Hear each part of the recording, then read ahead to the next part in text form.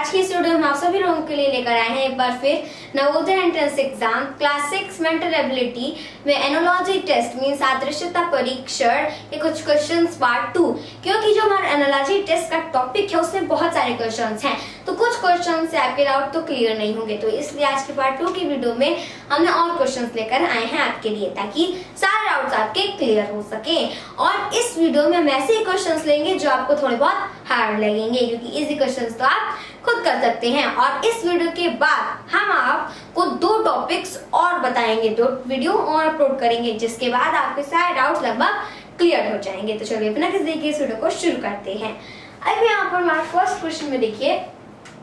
इस तरह से जो आकृति बनी हुई है, इनमें से क्रॉस शेप में कुछ लाइन है, दो लाइन है से क्रॉस में, दो लाइन है। अब यहाँ पर एक में एरो बना हुआ है और एक में इस तरह से बना हुआ है। अब देखिए कि अगली आकृति में क्या है कि ये मल्टीप्लाई से इस तरह से प्लस हो गया है क्रॉस से प्लस हो गया है।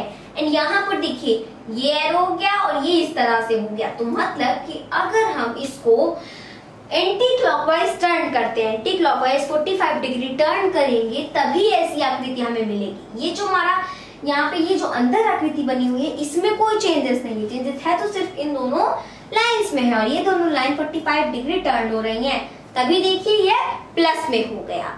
और सारे साइन बिल्कुल वैसे ही हैं। तो जैसा इन दोनों में रिलेशन है, वैसा ही अगले आकृति में भी होगा। नेक्स्ट यहाँ पर देखिए, अब इसमें सर्कल है। इसमें इस तरह से स्क्वायर था, यहाँ पे सर्कल है।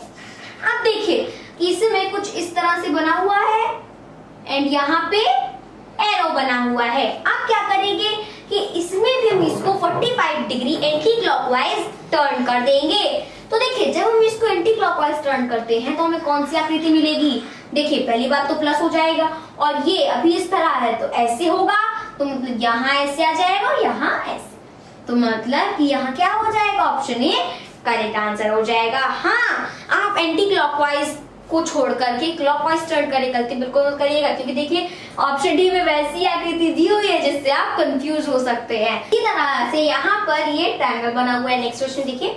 ट्रायंगल है एंड ये थ्री डॉट्स है। देखिए, ये थ्री डॉट्स बने हुए हैं। अब यहाँ पर देखिए, अगली आकृति में ये जो डॉट है वो बाहर निकल के यहाँ हो गया है, ये वाला यहाँ हो गया है, ये वाला यहाँ हो गया है। अब देखिए, इसमें हो क्या रहा है कि जो पॉइंट्स है वो एंटी क्लॉकवाइज बिल्कुल बाहर निकल जा रहे हैं मतलब अगर इस पॉइंट को एंटी क्लॉकवाइज बाहर निकालेंगे तो यहाँ थोड़ी ना, यहाँ आएगा। देखिए, यहीं पर है। अगर हम इसको निकालेंगे एंटी क्लॉकवाइज बाहर आएगा तो यहाँ आ जाएगा। ये है तो यहाँ नहीं आएगा, यहाँ आएगा। देखिए, जिस तरह का यहाँ पे दिया हुआ है तो मतलब कि इनमें पॉइंट्स क्या हो रहे हैं? एंटी क्लॉकवाइज बाहर निकल जा रहे हैं। तो जो रिलेशन इसमें, वही रिलेशन इसमें भी होगा। तो जब ये वाला पॉइंट एंटी क्लॉकवाइज बाहर निकलेगा तो यहाँ पहुँच जाएगा। ये वाला बाहर निकलेगा, यहाँ पहुँच जाएगा। ये वाला यहाँ और ये वाला यहाँ। मतलब करेक्ट आंसर कौन सा होगा? ऑप्शन बी अब बहुत लोग कंफ्यूज रहेंगे तो डी को भी मार सकते हैं सी को भी मार सकते हैं ए को भी मार सकते हैं। तो वो क्या होगा? रॉन्ग होगा, क्योंकि देखिए, ये एंटी क्लॉकवाइज बाहर निकल रहा है। क्लॉकवाइज नहीं। अब नेक्स्ट देखिए। एक सर्कल है। ऊपर एक क्या है? रेक्टेंगल है। नीचे ट्रायंगल है। अब इसमें क्या हो रहा है? गौर से देखिए। जो नीचे वाली आकृति है, वो बाहर वाली आकृति बन जा रही है। देखिए, नीचे वाली आकृति, बाहर वाली आकृति। जो बीच की आकृति है, जैसे सर्कल वो इसमें भी बीच की आकृति बन जा रही है। और जो ऊपर की आकृति है, वो बिल्कुल बीचों बीच की आकृति बन जा रही है। अब तो आपको समझ में आ गया होगा, इसमें समझिए। नीचे की आकृति इस तरह से बाहर की आकृति बन जाएगी। ऐसे बीच की आकृति, बीज की आकृति रहेगी। एंड सबसे ऊपर वाली आकृति सबसे अंदर हो जाएगी। मतलब इस तरह से। तो ऑप्शन बी होगा करेक्ट आंसर दूसरी आकृति में देखिए कि इस तरह से कुछ मल्टीप्लाई का साइन बना हुआ है, ऐसे। यहाँ पर है पॉइंट अब इसमें हो क्या रहा है कि ये जो हमारा साइन है, दोनों जो लाइन है, वो एंटी क्लॉकवाइज 45 डिग्री टर्न हो जा रहा है। तो देखिए, जब ये भी इस तरह से है इस तरह से तो जब ये एंटी क्लॉकवाइज टर्न होगा तो इस तरह से हो जाएगा। मतलब एक लाइन ऐसे हो गई, ये वाली ऐसे हो गई। एंड जब ये इस तरह से है तो ये एंटी क्लॉकवाइज टर्न होगा तो ऐसे हो जाएगा। मतलब प्लस बन जाएगा, और उसी के साथ साथ ये जो पॉइंट है, वो कहाँ आएगा? यहाँ आएगा। आएगा ना? तो देखिए, अभी तो पॉइंट बिल्कुल सटा हुआ है तो यहाँ से मतलब यहाँ आ जाएगा। तो इस तरह से मतलब कि ये एंटी क्लॉकवाइज टर्न हो रहा है। अब जो रिलेशन है वो रिलेशन इसमें भी होगा। तो इसमें आपको एक बात याद रखना है कि ये जो स्क्वायर है, वो कहीं पर भी टर्न नहीं हो रहा है। ये हमने पता भी कैसे किया? क्योंकि यहाँ पर कहीं पर भी ऑप्शन में अगर हम स्क्वायर को टर्न करेंगे तो इस तरह का शेप बनेगा, जो हमारे ऑप्शन में कहीं पर भी नहीं है। तो मतलब कि टर्न क्या होगा? सिर्फ़ ये लाइन होगा, क्योंकि हर जगह स्क्वायर ही है। तो जब हम इसको टर्न करेंगे तो मल्टीप्लाई से प्लस में हो जाएगा और ये वाला जो पॉइंट है, वो यहाँ पर हो जाएगा। तो कौन सा करेक्ट आंसर होगा? ऑप्शन बी तो बी होगा करेक्ट आंसर तो इस तरह से हमने ये चार क्वेश्चंस भी देख लिए। चलिए देखते हैं आगे। तो जैसा कि दोस्तों हम आप सभी लोगों को बता दें कि 11 अगस्त 2021 से आपके नवोदय एंट्रेंस एग्ज़ाम होने वाले हैं। और जिसकी प्रिपरेशन के लिए, जिसकी तैयारी के लिए चच्चू पब्लिकेशन वालों ने एक बहुत ही ज़बरदस्त और बढ़िया वर्क आपके लिए लेकर आई है। और इस बुक को पढ़ करके 80 में से 65 या 70 क्वेश्चंस तो आप बड़ी आसानी से कर सकते हैं। और इस बुक से सेल्फ स्टडी करके, खुद से पढ़ करके बिना किसी कोचिंग के आप अपना एंट्रेंस आसानी से क्वालिफाई कर सकते हैं। एंड इस बुक की सबसे खास बात यही है कि इसमें आपको जो कंसेप्ट दिए हुए हैं, जो टॉपिक्स हैं, जो मेथड है वो बहुत ही इजी वे में दिए हुए हैं। इस बुक में टोटल आपको seven previous solve paper six model paper दिए हुए हैं और साथ ही साथ बाकी सभी टॉपिक्स भी आपको इजी वे में दिए हुए हैं।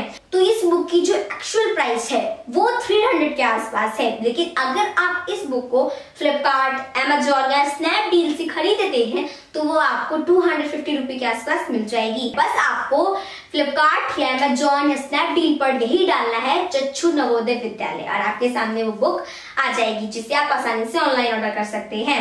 और अगर आप इस बुक को कोरियर द्वारा मंगाना चाहते हैं तो आपको स्क्रीन पर उसका एड्रेस दिख रहा होगा तो आप वहाँ से कोरियर द्वारा अपनी बुक को आसानी से मंगा सकते हैं। चलिए देखते हैं नेक्स्ट क्वेश्चन जिसमें यहाँ पर एक लाइन बनी हुई है, ऊपर ट्रायंगल और नीचे इस तरह से मल्टीप्लाई का साइन है।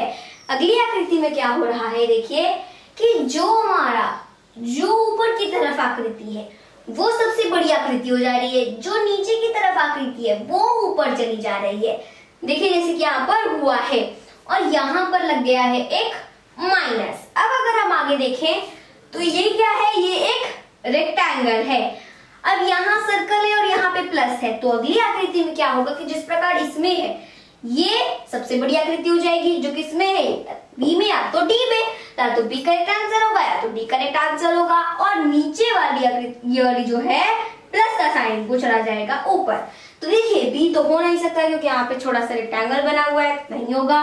तो डी ही होगा करेक्ट आंसर अगर आप इसको ना भी देखें, इन दोनों को ना भी देखें तो भी आप आसानी से कर सकते हैं। तो इस तरह से ऑप्शन डी होगा करेक्ट आंसर नेक्स्ट देखिए, इस तरह से ओवल बना हुआ है।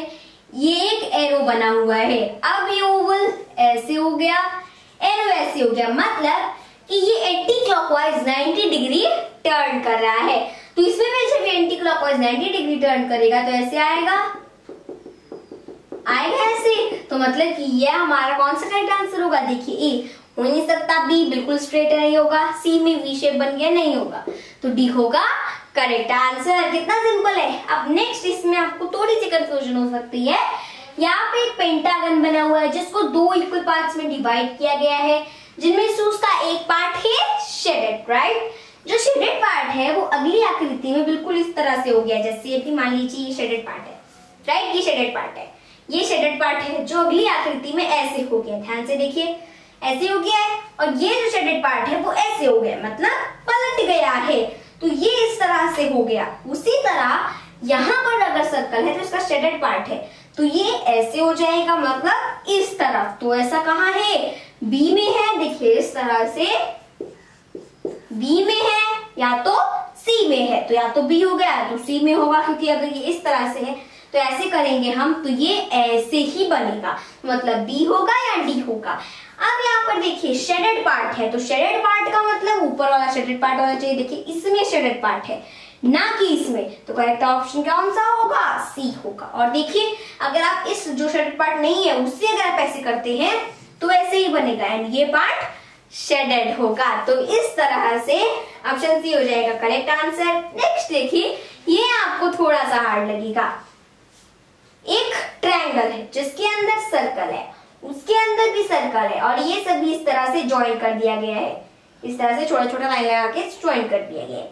अगली आकृति में ये जो सबसे अंदर वाली आकृति है मतलब ये सर्कल वो हो गया है गायब और इस तरह से बन गया है। प्लस अब क्या होगा इसमें भी ये जो छोटा सा ये जो छोटा सा ट्रायंगल बना हुआ है, जैसे कि आप देखिए, यहाँ पे ये आपको एक छोटा सा ट्रायंगल दिख रहा है। देखिए, ये एक छोटा सा ट्रायंगल है। तो जब ये हटेगा तो कैसी आकृति बनेगी? ऐसी आकृति जहाँ पे बिल्कुल भी ट्रायंगल ना हो। ये देखिए, ये ट्रायंगल नहीं है, बिल्कुल भी गायब हो गया। अंदर वाली आकृति गायब हो गई है, जैसे यहाँ पर गायब हो गई थी, उसी तरह से यहाँ पर भी गायब हो गई है। हमने जूम करके दिखाया तो आपको दिखी गया होगा।